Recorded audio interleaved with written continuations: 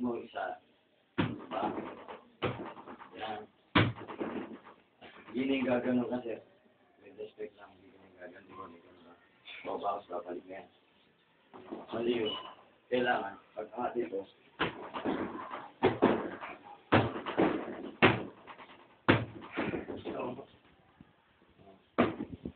Harap. Yan. Oo. Huwag mo sir. Pag tanda mo to,